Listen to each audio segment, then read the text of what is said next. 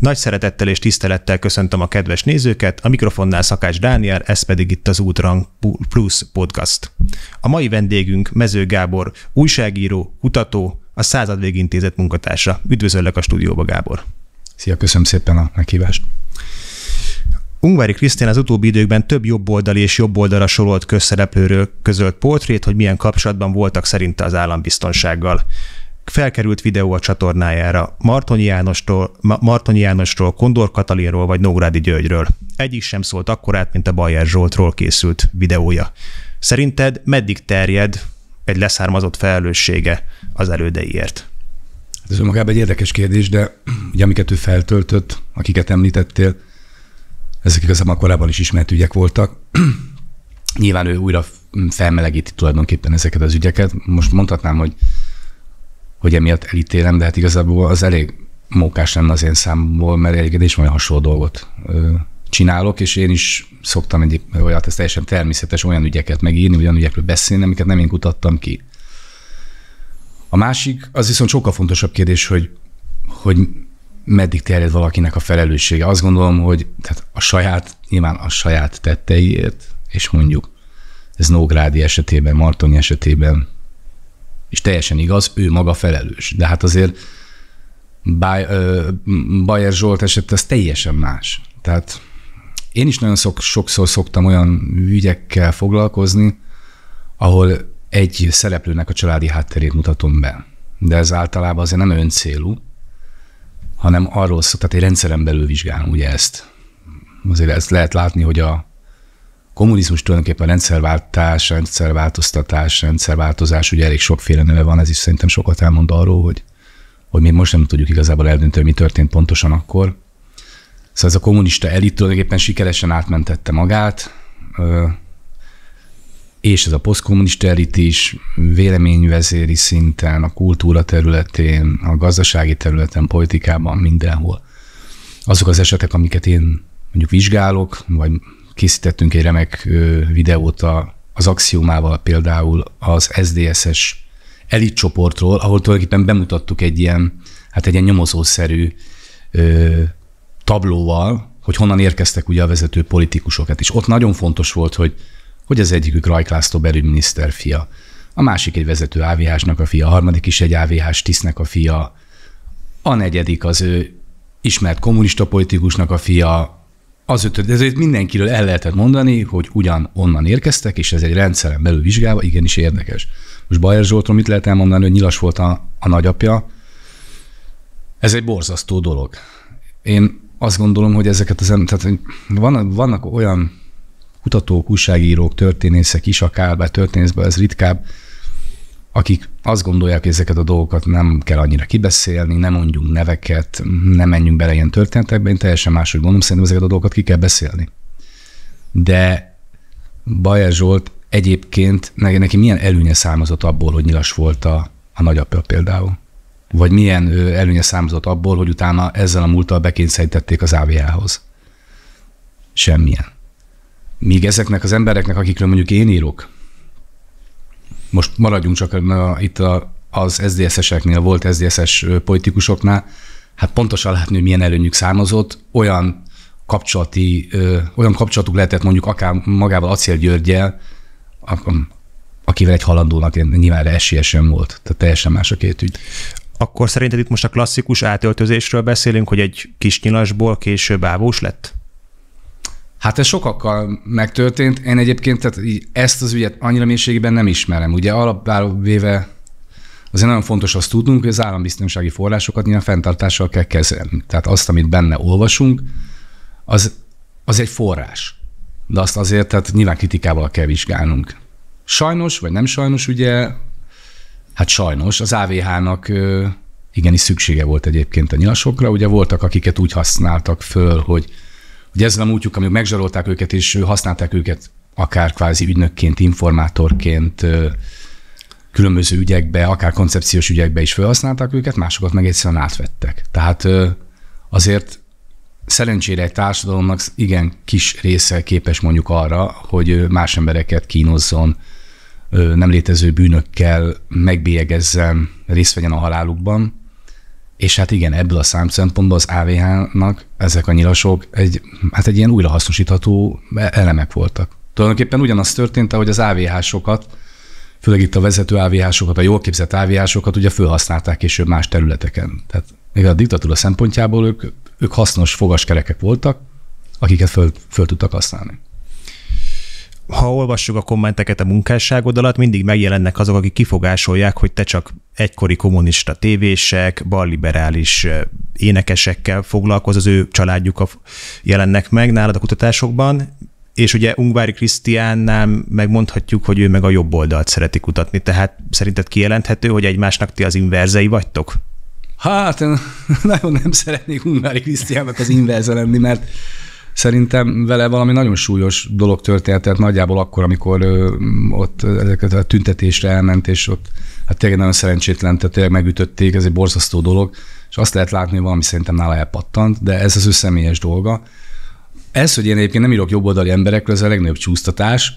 Jellemzően egyébként tényleg sokkal inkább a ö, baloldali, tehát ezt is idézőjelbe kell használni, amit egy Úcságy Ferenc, vagy egy, egy egy Dobrev Klára soha életében nem volt a valóságban baloldali, tehát kikérem magamnak mondjuk a klasszikus baloldali emberek nevében, mondjuk mint egy Siffer Andrást annak nevezhetjük ezt a jelzőt, konkrétan egyébként írok. Tehát azért én megírtam Krudinák Alajosnak is, hogy az MMVK 2-höz sorolható, ugye így kell fogalmazni, mert nyíltan se, hogy tehát nincsen olyan irat, ahol nyíltan nem, le van írva az ő kapcsolata, csak úgy kapcsolatban áll velük.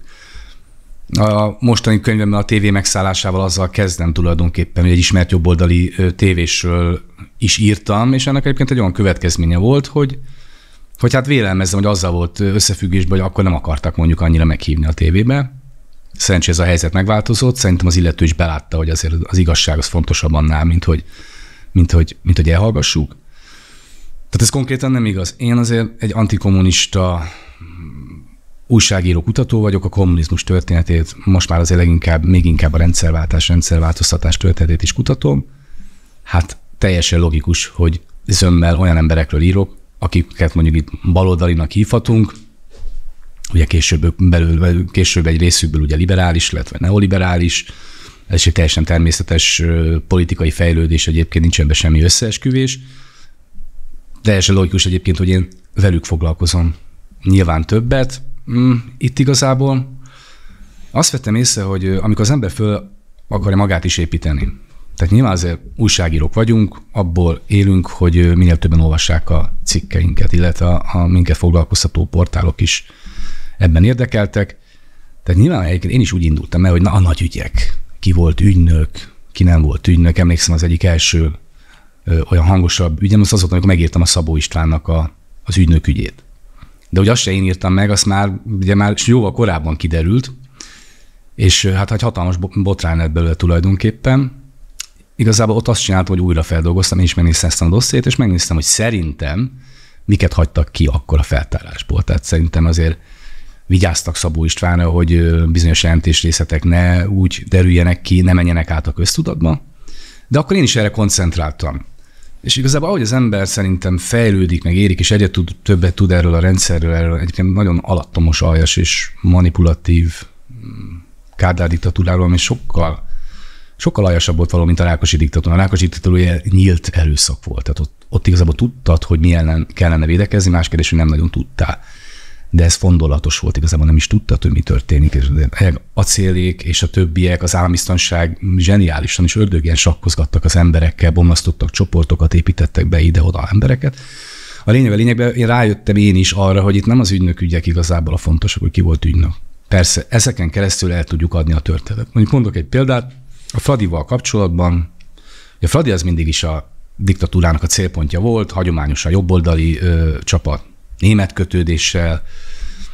Nyilvánvaló volt, hogy Rákosék ugye mit tettek velük, ahogy a többi csapatot is egyébként ugye átnevezték, elvették a színeit. Kádár rendszerben teljesen átalakult az ellenük való. Az ellenük ö, indított tulajdonképpen harcot teljesen máshogy ö, folytatták. Ott az volt a cél, hogy, a, hogy valahogy a, a szurkolótáborukat kordában tartsák. A másik cél meg az volt, egyébként ezt ki is mondták, hogy középszerűvé tegyék a Fradit. Tehát nem azt, hogy akkor lenyomjuk, mert az nagyon feltűnő középszerűvé tenni. Na most ezt mondjuk én is, ezt, ezt is kutatom, illetve olyan emberekkel beszélgetek, akik ezt kutatják. Na de ezt a történetet is hogy tudjuk eladni a, a, a nézőknek, a társadalomnak, és ez benne, ez a fonáksága is Novák Dezső nevével. Ugye, ha Novák Dezső, Varga Zoltán ugye nem buktatja Novák Dezsőt, akkor szerintem az egész ügynök kérdésről mondjuk nem tudom, lehet, hogy 200 ezer emberrel kevesebb tudna, mert ez nagyot szólt. Ugyanakkor benne van az, hogy tényleg kialakult akkor a két szélsőséges vélemény, az egyik azt, hogy nem tudom, Novák Dezsőt nagyjából hm, elő kéne venni, azon a börtönbe rakjuk, mindenhonnan tiltsuk ki. A másik meg a másik jellemző vélemény, hogy ugye már hagyjuk, már régen volt, ki tudja, te mit csinálás, stb. stb. És az igazság ugye a kettő között van. Hogy őt is bezsarolták egy elég undorító játszmával, és hát utána jelentett. De ahogy én is haladok, igazából nem a jelentők az igazán fontosak, hanem azok, akik a jelentéseket átvették. Az a diktatúra, ami erre késztette az embereket, az a diktatúra, amely tulajdonképpen hát félig meddig sikeresen megrompantotta a magyarságot. Van, akinél sikerrel, keveseknél nem. Tehát igazából ez a fontos, nem az ügynök ügye. Azt mondom, hogy eh, kicsit térjünk vissza az apák és fiúk kérdéskörére. Ugye 1990. március 31-én jelent meg a Magyar Fórumban az elhíresült írás, ugye sokan csurkához kötötték, de utólag kiderült, hogy ugye Grezsa uh-huh. Ferenc hódmezővásárhelyi MDFS képviselő jelöltől származik, és azóta is tulajdonképpen ez egy ilyen újságíróknak, kutatóknak kiszervezett szurkálódás. Tehát a politika szeret tőle elhatárolódni, ugye akkor is az volt, az MDF azt mondta, hát, hogy, hogy, hogy nem mi voltunk, csak alapban jelent meg, és ti vagytok beküldve az arénába. Hát ez abszolút ö, így volt, igen. Hát a politikának ez, ez egy nagyon veszélyes és ingoványos terep. Hát itt ö, ezt nagyon jó megfogalmazta Csóri Sándor, azt hiszem. Ha nem, akkor elnézést kérek tőle, de azt hiszem, egy ő, egy vele készült interjúban olvastam, hogy készül, képzeljük el úgy a rendszerváltás, rendszerváltoztatást, hogy jön az első szabad választás, és az egyik szavazó mellett az az ember szavaz, aki az illetőnek az apját kivégeztette vérbíróként. Ez elképesztő, tehát elképesztő helyzet. Tehát így kell elképzelnünk azt a, azt a korszakot, és igazából a vérbírónak a szavazata ugyanannyit ért, ugyanannyit ért annak a szavazata is, aki, aki jól el volt a Kádár rendszer végében, ugye sok nosztalgiázó. Nyilván a politika ebbe játszik. Abba az apák fiúkba azért, tehát én nyilvánvalóan én egy ilyen írás nem vállalnék föl. Tehát azért voltak abban szerintem olyan gondolatok, amikkel én nem értek egyet. És meg, meg pontatlanságok, meg ugye, pontatlanság. hogy, hogy Tamás Gáspár Miklósnak a, az anyukája alapító tagja volt a román kommunista pártnak, közben csak tagja volt. Hát tagja tehát volt, ilyen, ilyen pontatlanságok. Voltak ilyenek is, ugye ezek azért is, tehát azért most már így nekünk egyébként sokkal könnyebb dolgunk van és te is fölkészülsz egy interjú, bemész az Arkanumba, nézd a régi cikkeket, de régen igazából hát mm, be kellett menni egy könyvtárba, de igazából azt tudod, hogy mit kerestél, mi tudjuk, hogy mit keresünk, tehát azért sokkal egyszerűbb dolgunk van nekem is, és azért ezt nem győzöm hangsúlyozni, akkor azért nem, és az a baj, hogy nagyon, az a vita nyilván akkor is eléggé félrement. Ráadásul azért egy olyan ö, környezetben történt, ahol a média kizáró, hát olyan nyomasztó túlsúlyban volt itt az MSP, SDS, politikai iránya mellett, akik ugye éppen ott a demokratikus kárta idején álltak össze, és csak az SZDSZ árulta el a saját eredeti célját, tehát kiderült, hogy ami valószínűleg, hát mi, tehát az az elit sose volt igazából antikommunista, nyilván egy csomó SZDSZ-es az volt, meg voltak olyan politikusok is, de az a lényeg, hogy igazából abban a környezetben ezt ebből garantált volt, hogy hatalmas nagy botrány lesz, az is garantált volt, hogy Csurka István nevéhez fogják kötni, amit nem biztos egyébként, hogy ő bánt, hiszen ő, ő vitte ezt a témát, ő fölvállalta tulajdonképpen. És igazából mi történt ennek, a, ennek kapcsán? Az NDF ketté esett tulajdonképpen is szétesett. És ahelyett, hogy megindult volna egy, egy, egy jó fajta közbeszéd, egy jó fajta vita erről a témáról, ahelyett igazából a szerzője el lett mondva fasisztának és antiszemitának, és tulajdonképpen a MDF meg lett osztva, és semmi nem lett kibeszélve. Ugye említettük itt ezt a Szabó István ügyet, de amikor te foglalkoztál vele, az már egy későbbi, Abszolút. későbbi helyzet volt. Ugye amikor ez kipattant, akkor volt ez, hogy a Gyurcsány Ferencszer elkezdett ölelkezni, és rögtön jött egy viszontválasz az ellenoldalról, Ungvári tollából, hogy Paskai bíboros is ügynök volt és ez nagyon jellemző, hogy mindig van ez a hatás, hatás ellenhatás, ugye Megyesi Péterről Abszolút. kiderült, és egyszer csak előkerült Meruk József, hogy akkor Pokorni Zoltánnak az édesapja is érintett volt. És ilyen Kimeruk József, ugye, azon túl, hogy korábbi moszkvai tudósító, Ungári Krisztián szerzőtársa. Tehát tulajdonképpen nem kell ahhoz konteókon gondolkodni, hogy lássa itt az ember az összefüggéseket. Az egyébként nyilvánvaló ezzel a politika és a média is szívesen él, figyelemeltereléssel. Ugye, hogy mi határozzuk meg a témát lehetőleg. Ebbe egy jó politikai párt az mindig erős. Nem gondolom azt, hogy akkor most ő lehet, hogy, hogy, hogy, hogy ki, ki, kaptam mondjuk feladatba, hogy na most azonnal írd meg ezt az ügyet, de azért minden esetre furcsa, hogy kipattan ez az ügy, és egy héttel később rögtön jön a, a, a, a teljesen nem oldal.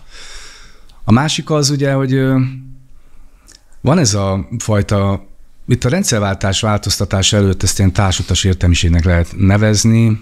Ugye utólag ők elmondják, hogy már akkor is nagy keresztények voltak. Van ez a fajta típus, határon túli esetleg, neki nagyon belülről bomlasztotta, ő csak ott meglapult, próbálta túlélni. Igen, ne, nem, nem volt annyi keresztény az előző rendszere, mint ahányan most már ugye állítják magukról, hogy Szerintem ezt túlzás nélkül lehet állítani, hogy ahogyan ugye 45 után soha nem volt partizánok, bújtak elő a föld alól, és bújnak elő manapság is. És, és, búj, és bújnak elő manapság is, igen, 90 után elég sok olyan, de ugye ez meg nehéz, mert ugye azt, hát ki tudja. A partizán azt lehet tudni, vagy ki lehet deríteni, hogy ott volt-e, vagy nem volt ott. Csinálta valamit, vagy csak, amit a kommunisták lett, többsége magáknak ham, hamis iratokat gyártott és bujkált.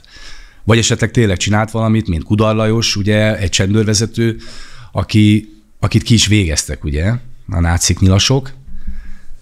Itt ugye a, tehát az, hogy valakinek a hitét, ez egy nagyon érzékeny téma, meg ki tudja, hát ugye könnyen lehet, hogy ő tényleg keresztény volt, meg az is. Csak azért azt is lehet látni, hogy igen, ez ugyanolyan, mint hogy biztos, hogy vannak olyanok, akik utólag ezt azért mondják, mert hogy látják, hogy most ezt megint lehet, és látják, hogy ezzel akár pozíciót is lehet szerezni. Az ember és a világ az mindig is így működött.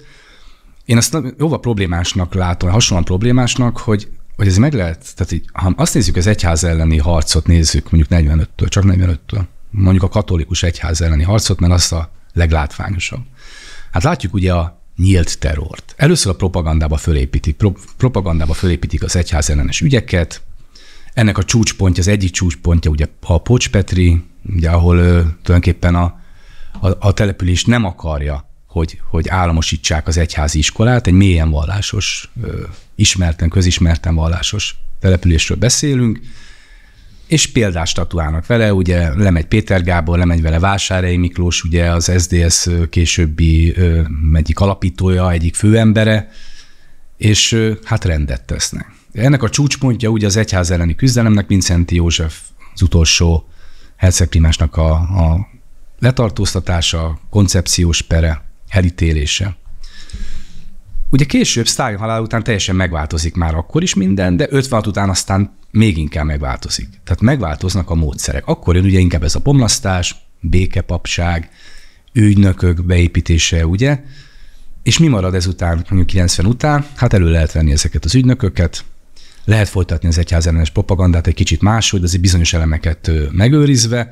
Én egy publicisztikában föl is hívtam erre a figyelmet, hogy azért hát Ungvári Krisztián Mincenti Józsefről szóló könyve egyáltalán az, hogy hogy még, tehát, hogy még mindig ez a téma, és még mindig ugyanazokon rugóznak, én ebben látom ezt a folytonosságot. Ez nem azt jelenti, hogy, hogy, hogy itt ebbe is bármiféle összeesküvést kell keresnünk. De lehet látni, hogy gyakorlatilag folyamatosan van egy egyház ellenes propaganda, egy egyház ellenes küzdelem, és igen, ki kell mondani, hogy Ungvári Krisztián ennek az egyik élharcosa. Vállalnál esetleg vitát Ungári Krisztiánnal? Tehát volt, volt erről szó, hogy ti összeülnétek esetleg Vincenti ügybe?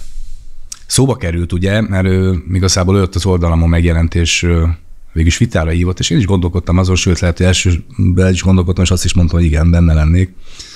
Azt igazából átgondoltam. Egyrésztről azért nagyon sokan mondták nekem, hogy ne üljek le vele, mert olyan típusú ember, akivel nem igazán lehet, tehát egy normális disputát fel nem lehet folytatni, akár személyeskedésbe menne a dolog, akár teljesen elterelt témát, és rájöttem, hogy nekem igazából erre nincs se szükségem, se kedvem, és ez igazából nem mennék bele. De vannak olyan emberek, akikkel nem szívesen ülök le vitatkozni, vagy beszélgetni, és ő igazából hozzá tart, ez közéjük tartozik. Ő szerintem már elment egy olyan vállalhatatlan irányba, hogy nekünk nincs, nem nagyon van nekünk egymásnak mit mondanunk apák és fiúk viszonylatában nekem a legmegdöbbentőbb volt Kepes András és Szilágyi János esete, akik ugye intézetben nevelkedtek, mert a éppen a szebb jövőt építették valahol máshol a kommunista világot a szüleik. Ezek ilyen egyéni akciók voltak, vagy pedig arról beszélhetünk, hogy ugye a kommunista ideológiában volt egy olyan, hogy majd az állam fogja nevelni a gyerekeket, és a, az jobb lesz nekik, mint hogy a szüleik lennének vele. Tehát, hogy melyikről beszélhetünk itt most? Nagyon jó kérdés, mert engem nagyon foglalkoztat ez a gyökértelenség. Tehát a, egyrészt lehet látni, hogy nagyon so, tehát hogy a kommunista vezetőknek is meg volt a saját gyökértelenségük, hogy ez sok névváltoztatás, az identitásuk igazából már, már idő után szerintem azt se tudták, hogy kicsodák, és nagyon sokkal megtörtént, hogy igazából hát nem voltak sem apák, sem anyák a valóságban. Tehát itt azért mondjuk Farkas Vladimir egy jó példa, ő ezt le is írja, hogy, hogy tulajdonképpen őt ugye a nagymamája nevelte föl, az apja, a Farkas Mihály, ugye a diktatúra rettegett honvédelmi vezetője, elvtársa, gyakorlatilag még később se kezelte őt a, fia, a, a fiaként. És Farkas Vladimir írról ezeket egy rettenetes érzés volt, és ő, és ő úgy érezte, hogy emiatt is tudták egyébként őt is megdolgozni ugye ezzel az ideológiával, hiszen, hiszen gyökértelen volt, senki nem volt, aki, aki megóvja erről, vagy, vagy, vagy, vagy bármit átadjon neki saját magából, mondjuk Farkas Mihály a gyűlöleten túl. Kepes András és Szilágyi János története azért érdekes, mert Szilágyi Jánosnak az édesapja nagyon befolyásos kommunista háttérember volt. Kutya nem ismerem, amit én se tudtam egyébként, mielőtt elkezdtem ezt kutatni de Dunavölgyi Banknak a vezetője, volt az MTI vezetője, később ugye dolgozott külföldön, és amikor külföldön dolgozott, akkor Szilágyi János gyakorlatilag intézetbe rakta. Most Kepes Andrásnak az apja, Kepes Imre, az egy spanyolos veterán, egy kommunista mozgalmi ember, volt ő is szerintem minden. Meg is írom a könyvemben, a tévé megszállásában, hogy, hogy a spanyol polgárháborúban ugye azok közé a hát sztálinista kommunisták közé tartozott, akik a rajkot már akkor ilyen trockizmustal vádolták, csak a rajk László akkor még megúszta. Ugye később lett ő minden, hogy a saját belső hatalmi játékaiknak végül is a saját, egy kommunista mártír, ugye nem, én nem nevezhetem a magyarság a nemzetű mártírjának, a kommunizmus, a mozgalom mártírja, azt szerintem tökéletes. Az a lényeg, hogy ő is ő külföldön dolgozott, mint nyilván szigorúan megbízható elvtárs, és ő is lerakta a Kepest és a, a nővérét, vagy Hugálta lánytestvérét intézetbe. De nem, nem, nem két hétre, ugye nagyon-nagyon hosszú időre. És ami érdekes egyébként az egészben, az a hozzáállás. Tehát én azt látom, hogy Kepes András gyakorlatilag ki lehet mondani, hogy nagyjából történelmet hamisít, vagy egyszer nem tudja így be. Tehát azért ez nagyon nehéz dolog. Tehát itt egy szüleinkről volt szó, nyilván szerette őket, nyilván minden az ember próbál megmagyarázni, de hát én kevéssé tartom hitelesnek azt a történetet, amit ő mond, sokkal inkább hitelesnek tartom, és emberi reakciónak Szilágyi Jánosét, aki gyakorlatilag ki tudja mondani, hogy nagyon haragszik az apjára, mindig is haragudott, sose volt az apja, és azt is elmondja, ez Kepes András érdekes módon azért mindig megkerülte, hogy jó, ugye az édesapja kapott kint állást, de az édesanyját az kikényszerítette rá, hogy itt hagyja. És milyen édesanyja az, milyen édesanyja az, hogy gondolj már bele, aki intézetbe berakja a saját gyerekét. Nagyon kemény történet. És itt azért nem arról van szó, hogy aluliskolázott ö, ember, aki nem tudja felfogni a tetteinek a következményét hanem ezek nagyon komolyan értelmes, gyakran diplomás emberek voltak, és mégis megtették ezt.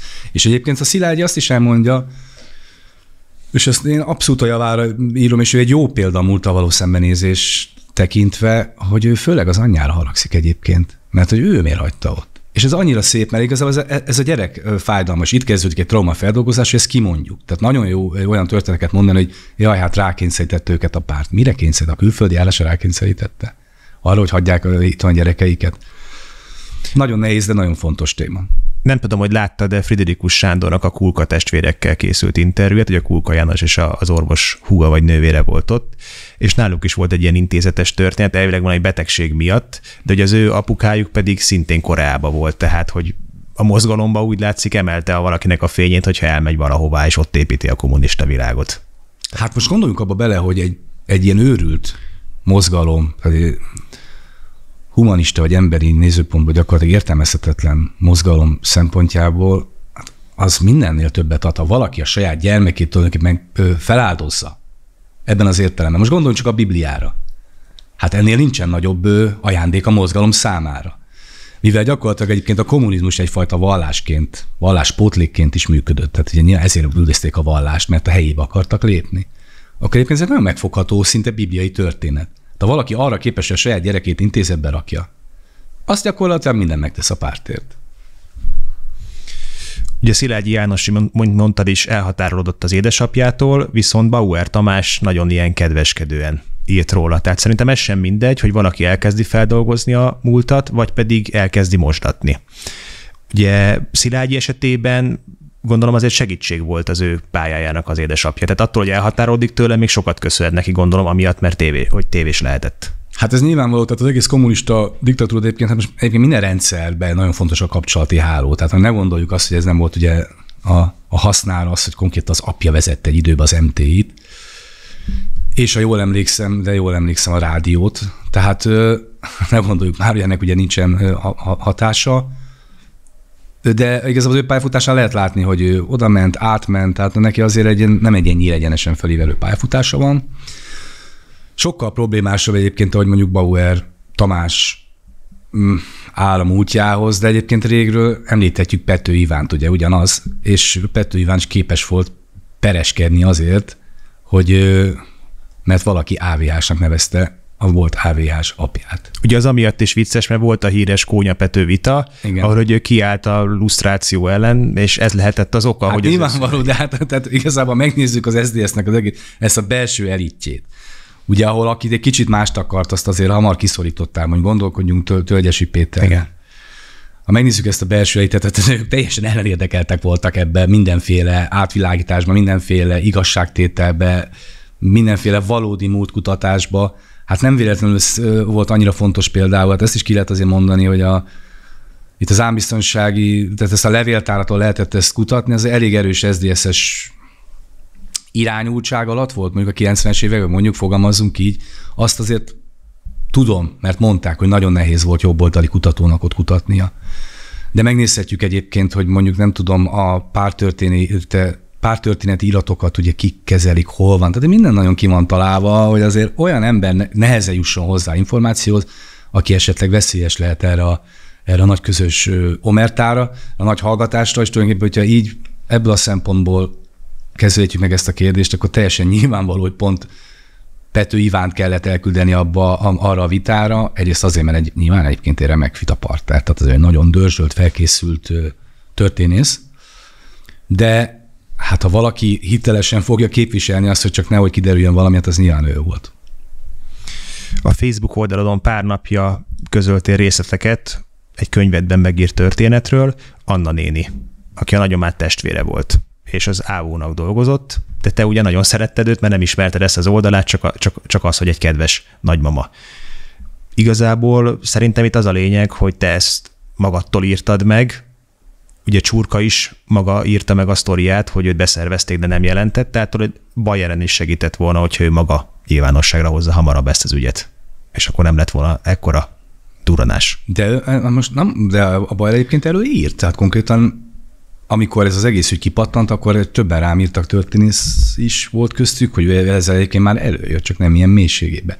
Azért nagyon fontos dolog azt látni, hogy nem mindenkitől várható ezt el, és Bajertől függetlenül én nem akarom őt sem megvédeni, nem hiszem, hogy rászorulna, hogy nem mindenki képes ezeket a kutatásokat végigvinni, nem mindenki képes a saját életével szembenézni, a szüleivel, a családtagjaival. Most volt, nem tudom, egy beszélgetésem pont egy barátommal, és akkor ott az egyik családtagjára tulajdonképpen elkezdtünk beszélgetni, hogy miért lett beteg, stb. stb. És elindult onnan, hogy végül is milyen rendes ember volt, meg, meg hát ez értetetlen, és minél többet beszélgetünk, idő egyáltalán nem volt rendes ember. Tehát, ezen a folyam, tehát ezt a folyamaton ezen végig kell menni, ezt a kutatást végig kell vinni, és nem mindenki képes erre. Most azért annyit, tehát ezek családilag is nagyon nehéz ö, kérdések. Van egy nagyon-nagyon jó könyv, mindenkinek tudom ajánlani, élő kötet nem marad. Remélem ez a cím olyan rossz lenne, hogyha rosszul idézném a címét. Az a lényeg, hogy ott arról a szerző megírta, hogy az édesanyja, hát ö, tulajdonképpen ügynöknek dolgo, ügynökként dolgozott, de nem csak ügynökként, róla is jelentett. Hát ez ez egy nagyon borzasztó szituáció. És leírja az elején, azt teszett a legjobban, leírta a könyv elején, hogy hát hogy ott vita volt a testvérével, és hogy nagyon nem örült a testvére, hogy ezt megírja. Ő azt akarta, hogy ne írja meg. Tehát itt családon belül is ezek nagyon-nagyon nehéz dolgok. Nem mindenkitől várható el, hogy, hogy ennek neki menjen, viszont társadalmilag egyéni, egyénileg is nagyon fontos. Tehát mindenkit arra biztatok, hogy minél több mindent tudja meg a saját családjáról, mert saját magáról is nagyon sok mindent megtudhat, de társadalmilag meg, meg hihetetlenül fontos. Egy, egy ilyen ö, évtizedes kommunizmus után, ilyen évtizedek után, tehát nagyon fontos, hogy legalább utána megpróbáljuk kibeszélni a dolgainkat, mert, mert nem fogjuk tudni, hogy, hogy, hogy, hogy miért leszünk betegek, hogy igazából mi a valódi problémánk, és lehet, hogy valami olyan van a háttérben, ami igazából nem mi vagyunk, de mégis mi vagyunk, mert hozzánk kötődik a családunkon keresztül.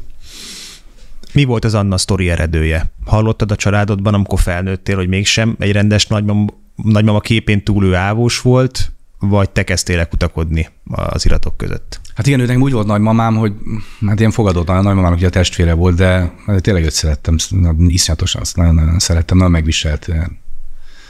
Fiatal halt meg, ugye viszonylag, és én meg gyerek voltam.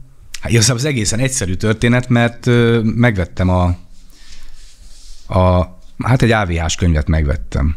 És nem akkor pont tudtam idézni a címét, egy elég ismert AVH-s könyv, és a végén van egy lista, egy ilyen névlista. Na, hát csak elkezdtem nézegetni a név, és hát volt ott egy, egy ismerős név. És tulajdonképpen akkor így derült ki.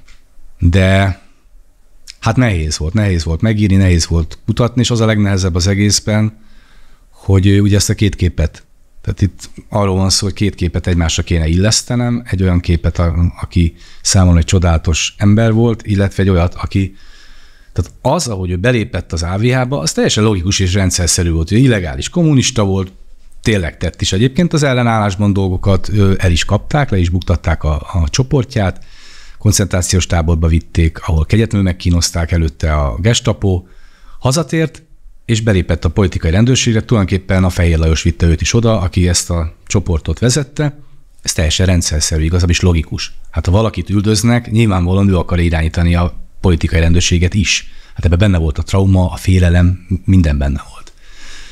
Nyilván az, ami később történt, hát az az igazán vállalhatatlan, hogy a politikai rendőrség, nem hiszem, hogy a politikai rendőrség bárhol tud tisztességesen működni, hiszen az a neve, hogy politikai rendőrség, de hát nyilván látjuk, hogy átalakult, és az, mi később történtek, az a baj, hogy arról nem tudok semmit, hogy ő milyen hatással volt ez rá, hogy ő vívódott, mert ahogy én ismerem, biztos, hogy kellett vívódni át, mert ő tényleg hitt az eszmében. De hát egy idő után már saját magukat is elkezdték ö, ugye írtani, már mindenki kém lett gyakorlatilag, de hát előtte is volt olyan, hogy látnia kellett, hogy azok az embereknek egy része nem követhette el a bűnöket, és engem nagyon érdekel ez, hogy ő hogy állt ez az egész, és soha nem fogom megtudni, mert gyakorlatilag nincs róla semmi információ. Szerintem nagyon fontos tisztázni az ügynök akták kérdését, mert ez mindig előjön. Ugye az LMP már több mint tízszer nyújtott be ilyen irányú törvény 2010 óta mihez lehet most hozzáférni kutatóként, és ebből mit lehet nyilvánosságra hozni? Hát ez az ügynöklista az ilyen jó nagy gumicsont lett, ez olyan, mint amikor valakiről írok, mondjuk nem tudom, írok az apró Dobrev Klárról, és akkor megjelenik a komment, hogy mikor írok Orbánékról, stb. Ez kicsit olyan teljesen félreviszi a dolgokat.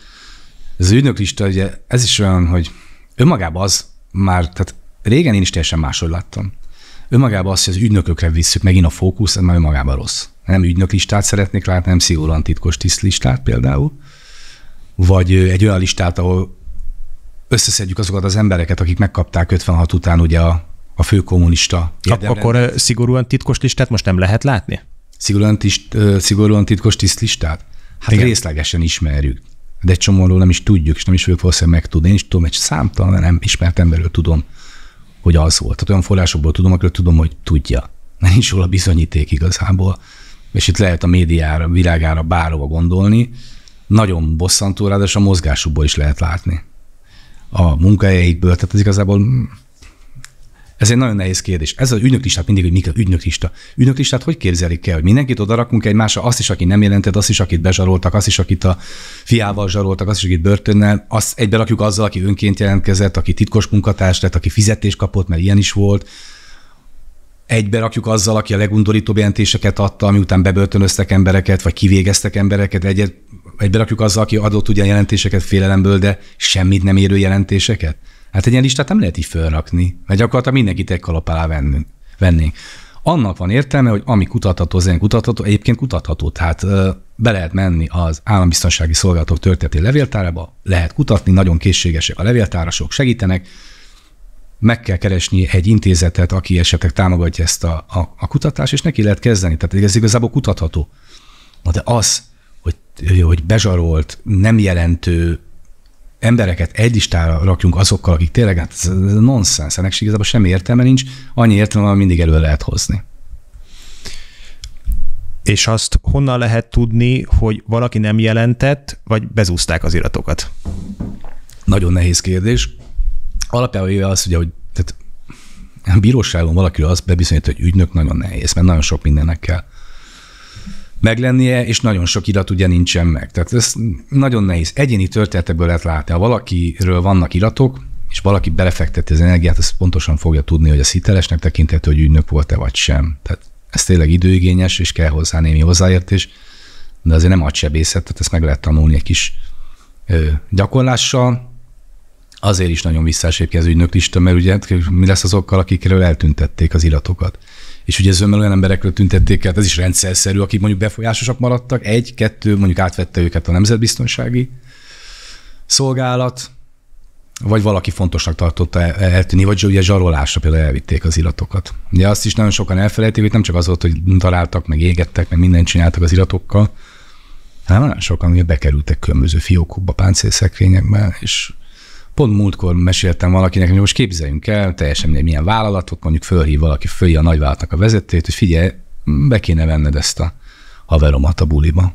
Na, de nem akarom belemenni. Jó, figyelj, akkor holnap megírjuk, hogy ezt tiszt voltál itt a ifazilat nálam.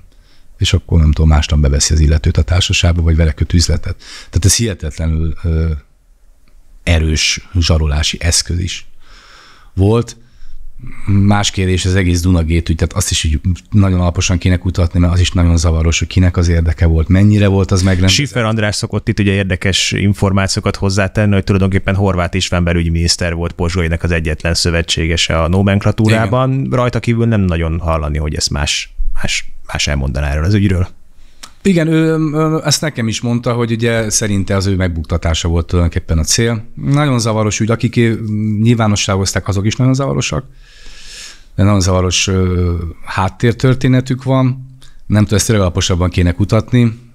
Én, amikor még a Hankis Ágnesnél dolgoztam a Hanvas intézetben, már Hankis intézetben, hát ott is kutattuk, meg beszélgettünk erről, és azért tényleg vannak egyébként elég érdekes történetek. Az egyik, hát ez nagyon vicces egyébként, hogy a, hogy ott van a két őr, vagy nem tudom, és akkor az egyikük hazamegy rántott húst enni és szerintem az nem tudom, Ági végül belebeírta a publikációjába, vagy csak beszéltünk róla, de hát de meg is jelent, hogy tényleg egy hát ilyen funkcióban azt elképzelni, hogy valaki csak úgy hazangednek rántott húst tenni egy ilyen helyzetben, tehát nagyon-nagyon zavaros az az, hogy maradjunk ennyiben.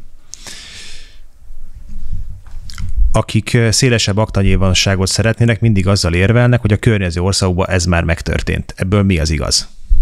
Hát megmondom őszintén, azért ebből erről egy levéltáros kellene megkérdezni, mert aki tényleg ez a szakterülete. Én is látom azt, hogy volt, ahol máshogy történt. Nyilván sokan azt is mondják, hogy hát ezt, ezt nem kapcsolatban, és mindig elmondják, hogy ezt 90-ben kellett volna megtenni, meg ezt nem. Szerintem sose késő semmit megtenni. Nagyon-nagyon nagyon-nagyon veszélyes dolog mondjuk úgy úgy létrehozni egy ilyen listát, vagy nyilvánosra hozni, hogy bárki hozzáférhet, és olyan emberek is, akik fogalmuk nincsen semmiről és nem azért, mert buták, hanem egyszerűen nem értenek hozzá, hogy én se értek, meg mások egy csomó dologhoz. Tehát ezt nem. Ez a történészek és a kutatók feladat, hogy ezeket feldolgozzák, illetve bárki bemehet és megnézheti, hogy az róla, vagy a felmenőjéről közvetlen egyenesági felmenőkről van-e valami. Ezt mindenkire biztatom. Tudom, hogy sokan félnek egyébként ettől, mert ugye akár az is kiderülhet, hogy hát a nagyapa volt éppen az, de, de erre biztatom az embereket. Ilyenkor, amikor bemegyünk, hogy kikérjük ezeket a, a papírokat a felmenőinkről, papírt kapunk, vagy pedig online elérhetőek ezek már beszkennelve. Tehát úgy, mint mondjuk az Arcanumon is lehet ugye kere, címszavakkal keresni, ez így nézek ki esetleg ez az ügynökös dolog. Az az igazság, hogy én úgy nem kértem ki, tehát úgy állampolgárként. Azt tudom, hogy a, most nagyon-nagyon jó dolgok történtek az elmúlt években az ABTL-ben, és nagyon jó lett az online elég. Tehát én már leginkább online kutatók, nagyon egyszerű laptopot kinyitja az ember, és akkor ott olvasgatja ugye ezeket a dossziékat. Vélelmezem, hogy egyébként az átlag állampolgárokkal is így van, erre se tudok határozottan választ mondani. Akkor két monitor, az egyiken az Arcanum, a másikon pedig ezek az aktás dolgok. Hát igen, egyébként így érdekes dolgozni. Az igazság, hogy én saját kutatásaimon is észrevettem azt, akármikor a tévé megszállását írtam, akármikor a kultúra megszállását, vagy műsorokon dolgozok, vagy cikkeket írok, hogy már szinte többet használom az Arcanumot, sőt, többet használom. Tehát hihetetlen sok minden meg lehet tudni, hihetetlen sok ellenmondást lehet találni. Én nagyon szeretem a, a ma is aktív embereket szembesíteni az, amiket nyilatkoztak esetleg régebben. Elég, elég csak felmenni ugye Konzsuzsának a Wikipédia oldalára, hogy megnézzük a diszkográfiáját, hogy hát, hogy sem igaz abból a betiltásból. Igen. Hát, mennyire volt üldözött, igen. Nehéz dolguk van egyébként. Régen egyébként szerintem nagyon könnyű dolguk volt ezeknek az embereknek 90-es években, mert tényleg ki tudta azt. De egyébként azok tudták, akik ott voltak. De ugye azt, azt is lehet tudni, hogy akik ott voltak, azok nem nagyon beszéltek róla, hiszen meg akartak élni ők is mondjuk a zenei világot vesszük. Ha valaki akkor neki megy konzsuzsák, vagy Bródinak elkezdi kritizálni, hát nem hiszem, hogy jótékony hatású lett volna a karrierjére, és sokszor elég finom. Hát az biztos, hogy megkapott volna minden szélső jobból. Másrészt ugye azonnal náci lett volna, meg, meg minden. De nem volt egyszerű. Ma már azért egyébként nagyon nehéz, és ennek köszönhetően szerintem van is egyfajta ilyen visszavonulás, hogy kevesebbet nyilatkoznak. Ami viszont megtörténik, és ez egy szerencsés dolog, néhány idősödő újságíró, tévés folyamatosan nyilatkozik, és hát általában elejtenek olyan mondatokat, amik ilyen nagyon árulkodóak. Abban bízom egyébként, ahogy telik az idő, azért olyan infókhoz is hozzájutatunk ezáltal, amik számunkra érdekesek lehetnek. Ugye mondtad, hogy Arcanumon szinte már többet kutasz, mint az aktákba. És azért nagyon érdekes, hogy ezek mindenki számára hozzáférhetőek. Arcanum előtt el kellett menni a levéltárba, hogy kinyissa az ember a régi hmm. újságot, most pedig ugye már címszavarra lehet keresni. Nekem a legérdekesebb most ebben a Bayer sztoriban, hogy ez hogy, hogy nem írták meg 15 éve, amikor akkor is kutathatóak voltak az akták. Tehát tulajdonképpen mondhatjuk, hogy lusták voltak a bal oldalon is, hogy ennek nem jártak utána korábban, és lusták voltak a jobb oldalon is, hogy nem jobb oldalon is, hogy nem végezték el a te munkádat? Nem volt ez divat, tehát azért ez régen nem volt divat, hogy valakinek a nyilas napjával próbáljanak így, nem tudom, lejáratni, vagy szélkeresztbe venni, mert, mert miért? Igazából tehát valakit a kommunista apjával, tehát teljesen más a történet. Hogyha itt a nyilasok uralkodtak volna 90 előtt, akkor ez egy nagyon fontos történet lenne, de így egyébként társadalmilag, társadalmilag fontos, mert beszélünk a nyilas múltról, de hogy ebből a szempontból pedig nem. Szerintem ez ennek köszönhető, hogy szerintem senki nem tartotta fontosnak. Elő azért már voltak információk korábban is, csak túléptek az emberek. Hát ez egy, ez egy, ez egy családi tragédia. Hát ez az országunknak, a nemzetünknek a tragédiája, hogy ilyen korszakokon átestünk, hogy nagyon sokan részt vettek benne. Itt olyan traumák történtek velünk itt a 20. században, hogy szerintem napestig tudnánk sorolni. Csoda egyébként, hogy még, még itt van, és még mégis működik ez a társadalom. Még egy mítosz van az ügynökaktákkal kapcsolatban, ezek a mágnesszallagok körülbelül másfél évtizede volt ez nagy téma, azóta nem hallani. Mik vannak ezeken? Jelentések, nevek, akták? Ez a mágnesszag is egy kicsit olyan, ez így bedobják így a köztudatba, és akkor lehet rajta egy kicsit így rugózni, mint az ügynöklista. Hát sokkal fontosabb lenne, hogy Moszkvától megkapjuk az iratokat, mert azért a Szovjetunió tudni kell, hogy minden fontos iratnak a másolatát megkapták. Most képzeljük el egyébként, hogy ők hogyan élnek ezzel, ugye ismerve a szovjet-orosz birodalmi gondolkodást, tehát nyilván azért el tudunk képzelni ott is zsarulásokat esetleg, meg nyomásgyakorlást ezzel kapcsolatban. Ezen az igazán lényeges, hogy velük esetleg tényleg olyan egyességre jussunk, hogy, hogy, hogy nem, most az van általában, hogy egy-egy ember elmehet, és akkor kutathat. De, de hát jó lenne, hogyha bárki elmehetne, vagy ha tényleg átadnák ezeket az iratokat. Ez tulajdonképpen Hát ez nekünk jár, mert hiszen rólunk készített. Volt már olyan, volt keleti blogbéli ország, hogy megpróbálta elkérni az oroszoktól ezeket az iratokat? Mm, megpróbálni biztos, mondom, megpróbálni megpróbálta, de nem is erre azért komoly esély. Lenne nagyon érdekes, amit a Charles Gálti ír a könyvébe, ugye az 56-os könyvébe, írta először le a Nagy Imrének ugye ezt a, hát hogy először írta le, de ő írta a leg, leghitelesebben a Nagy Imre NKVD-s múltját, ugye valahogy a Fedő néven hogy ügyködött, és akkor mondta, hogy őt beengedték oda, mint amerikait, pont azért, mert már rendszerváltás ugye megtörtént. Igen, és Vladimir Bukovski is bemehetett oda egy rövid ideig, aztán abba is maradt ez a nagy, hát nagy igen, De, és, de azt mondta, hogy ott, hogy vigyáztak, tehát, hogy félt, hogy le, leírja azt, hát nagyon ijesztő lehet egyébként, hogy a levél. Tehát, hogy valami, itt hogy olyat találsz, hát az ember nyilván attól fél, hogy kiítják a csapóajtót, és inkább nem engednek ki. Nyilván ma már azért ezt nem gondolom, hogy így lenne, de hogy ez egy ijesztő lehetőség, vagy egy, egy, egy ijesztő történet lehet, és hát kiváltságosoknak járt, tehát nem mehetett be mindenki. Azért hatalmas áttörés lenne, jó lenne egyszer megtörténne. Tehát igazából a, akkor náluk meg lehetnek azok is, amiket itt ledaráltak ugye 89-90-ben. Hát én gondolom, hogy megvan. Most ezt is ilyen rendszer szempontjából vizsgáljuk. Hát ugye annál jobb, minél több irat van náluk. Nem hiszem, hogy ott a fontos iratokat leselejtezték volna. Biztos, hogy egy csomó mindent leselejteztek, mert nem lehet mindent megőrizni. Helyük, az, helyük azért lehet tárolgatni. Igen, vélelmezném azért, hogy ott vannak, vannak nagyon fontos, tehát pontosan azok az iratok is meg lehetnek, amik itt nincsenek. Nagyon szépen köszönöm, hogy itt voltál nálunk.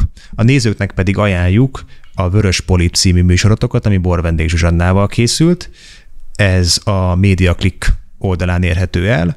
Ajánljuk még szintén a Hamis Gújás című YouTube csatornát, ahova egyre jobb tartalmak kerülnek fel, valamint a könyveidet, amelyek megrendelhetők a század végnél is, és, és a könyvesboltokban, polcain is ott vannak. Köszönjük, Gábor, hogy itt voltál, reméljük még jössz legközelebb is. Köszönöm a kívást. A nézőknek pedig köszönjük a figyelmet, és ha tetszett az adás, akkor kérjük, kérjük iratkozzanak fel a csatornánkra.